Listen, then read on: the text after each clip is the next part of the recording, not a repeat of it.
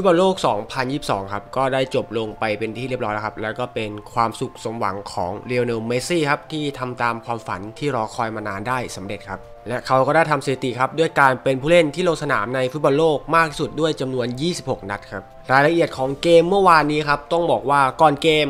ฝรั่งเศสอาจจะดูเป็นต่ออาร์เจนตินาอยู่นิดๆครับ แต่ว่าพอเริ่มเกมมาครับ ต้องบอกว่า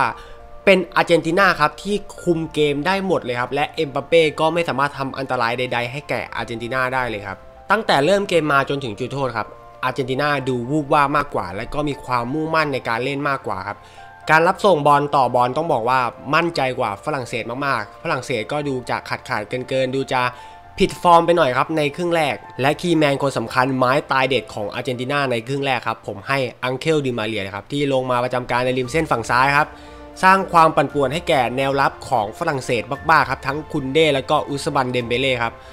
จนมาใช้ความเก๋าและประสบการณ์นะครับ บวกกับทักษะที่อังเคลดิมาเรียมีอยู่แล้วครับ เรียกจุดโทษจากอุสมันเดมเบเล่ได้ครับ และนั่นก็เป็นจุดโทษสำคัญของอาร์เจนตินาเลยครับในครึ่งแรก ฝรั่งเศสครับพยายามที่จะสวนแต่ว่าผู้เล่นในแดนหน้าเนี่ยมันน้อยเกินไป ส่วนหนึ่งอาจเป็นเพราะว่าฝรั่งเศสน่ะรับในแดนซะมากกว่าครับทำให้พอเคลียร์บอลขึ้นไปเนี่ยก็กลายเป็นอาร์เจนตินาที่เก็บบอลได้ตลอดแล้วก็ กองหน้าของฝรั่งเศสก็ไม่ได้กดดันอะไรแนวรับของอาร์เจนตินาได้เลยครับ จนลามมาลูกที่ 2 ครับ ที่ต้องบอกว่าลูกสวนกลับของอาร์เจนตินา นี่คือทีเด็ดในทัวร์นาเมนต์นี้เลยครับ เกิดจากความผิดพลาดของฝรั่งเศสครับที่เปิดเกมมาได้ไม่ดีครับ และอย่างที่บอกไปครับ แนวรับของอาร์เจนตินาครึ่งแรกเก็บบอลได้ตลอด แล้วก็ใช้จังหวะนี้นะครับ สวนกลับแล้วก็ต้องชื่นชมทั้งอลิสเตอร์ เมสซี่ครับ จูเลียน อัลวาเรซ รวมไปถึงอังเคลดิมาเรียที่เป็นคนยิงทำให้ออกนำไปถึง 2 ประตูต่อศูนย์ครับ จนเวลาล่วงเลยมา 40 นาทีครับ รูปเกมไม่ดีครับ เดชองครับกุนซือของฝรั่งเศสครับ เปลี่ยนเอาชิลูและก็อุสมันเดมเบเล่ที่วันนี้ไม่มีประโยชน์ต่อทีมออกครับ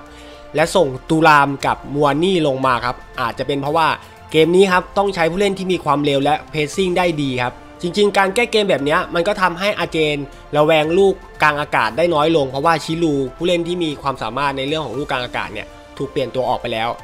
แล้วตอนนี้ครับฝรั่งเศสก็ใช้เอ็มบัปเป้เป็นกองหน้าตัวเป้าเลยครับและการเปลี่ยนตัวลงมาก็ค่อนข้างจะได้ผลครับ รูปเกมของฝรั่งเศสเหมือนจะดีขึ้น และก็ดูจะมีหวังมากขึ้นครับและคิดว่าครึ่งหลังฝรั่งเศสอาจจะทำได้ดีกว่านี้ และพอเริ่มครึ่งหลังมาครับ ต้องบอกว่าฝรั่งเศสรูปเกมดีขึ้นครับ แต่ก็ยังไม่สามารถทำอะไรแนวรับของอาร์เจนตินาได้ รวมไปถึงเอมี่มาติเนสครับ ที่ยังไม่ค่อยได้เซฟลูกยากอะไร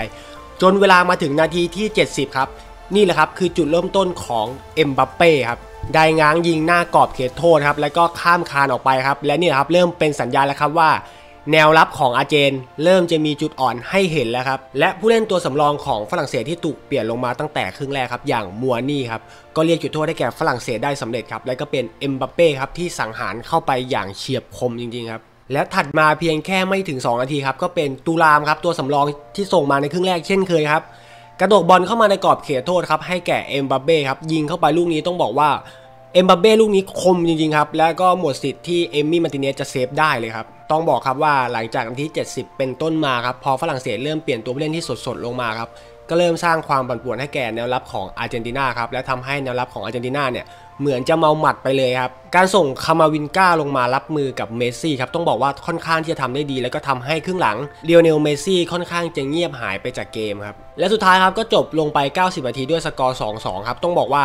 คู่นี้อาร์เจนดีครึ่งแรก ฝรั่งเศสดีครึ่งหลัง และก็สมแล้วครับที่เป็นคู่ชิงครับ ต้องบอกว่ามันจริงๆครับในเกมนี้จะว่าไปจุดเปลี่ยนที่สำคัญของอาร์เจนตินาที่ทำให้เกมรุกดูอันตรายน้อยลงครับ นั่นก็คือการเปลี่ยนอังเคลดิมาเรียออกครับ และส่งอาคุนย่าลงมาแทนครับ ก็พอเข้าใจได้ครับด้วยสกอร์ที่นำถึง 2-0 ครับ ก็เลยจะส่งตัวผู้เล่นที่เน้นรับมากกว่าลงมาครับถ้าเทียบกันแล้วเนี่ยเรื่องของตัวสำรองเนี่ยต้องบอกว่าตัวสำรองของฝรั่งเศส ชื่อชั้นดีกว่าอาร์เจนตินาครับ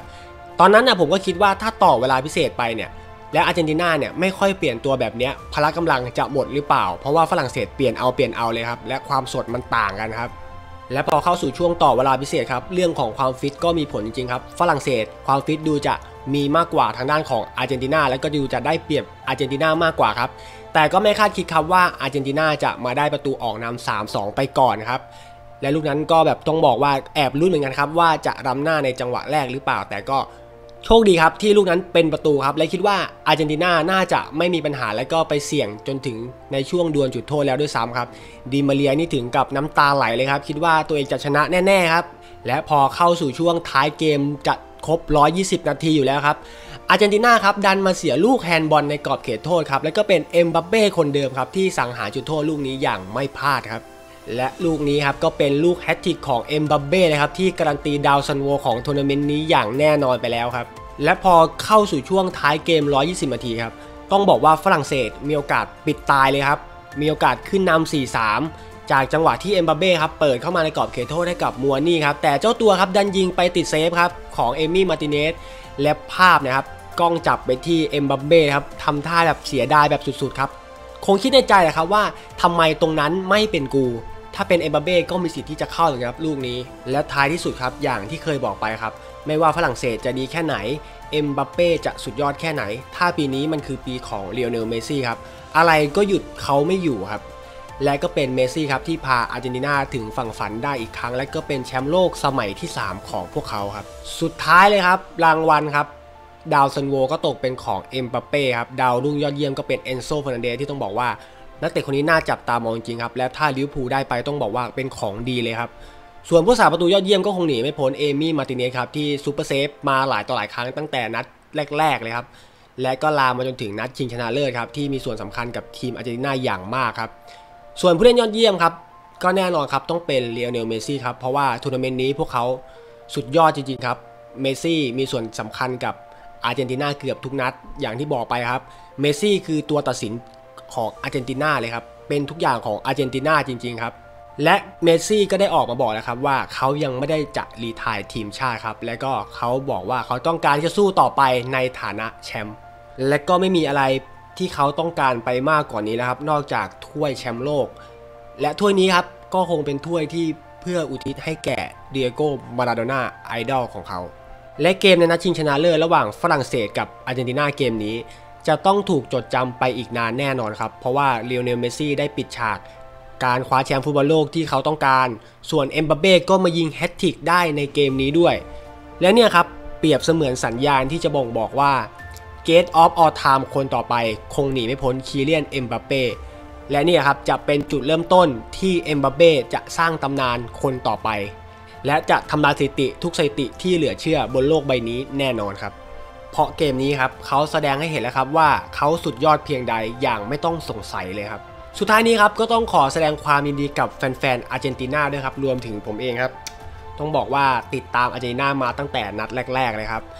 เริ่มต้นอาจจะไม่สวยครับ แต่สุดท้ายมันจบด้วยความสวยงาม ความปลื้มปิติ ความยินดีให้แก่เลโอเนลเมสซี่ผมได้ไปดูคลิปหลาย ๆ คลิป ในนัดชิงชนะเลิศ เบื้องหลังเกม หลังจากรับถ้วย ผมต้องบอกว่า